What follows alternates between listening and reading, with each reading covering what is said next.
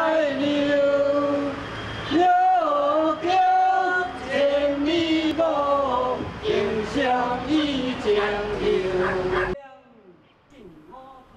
罗东镇立图书馆针对不同年龄层的证明，从四月十一号到六月十六号，在镇立图书馆以及意境空间来举办罗东证明译文教室活动，分别开办了儿童阅读写作班、儿童绘画综合班、奥福亲子音乐班、老董打击班、好好创作美感生活班、职人首创班、艺术创作班、粉彩画班等等。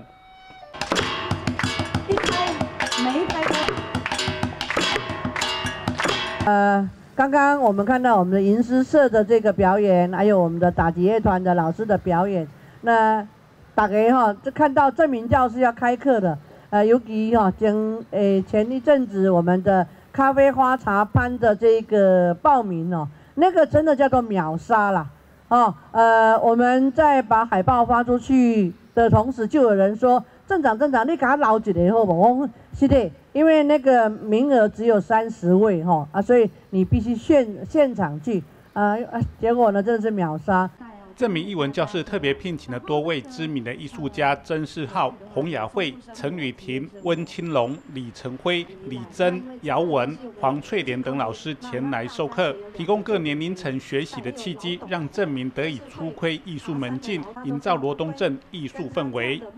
什么那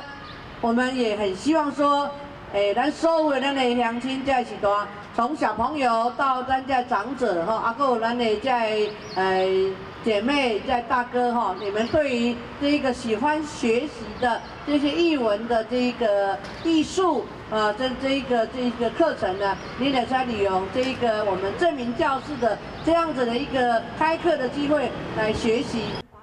罗龙证明艺文教室的开办，期望能够让证明有丰富心灵，创造生活巧思，轻松的沉浸与享受艺术熏陶，规划轻松有趣又容易入门的课程。而证明教室在三月十二号上午的八点三十分起，在罗东镇立图书馆来开放报名。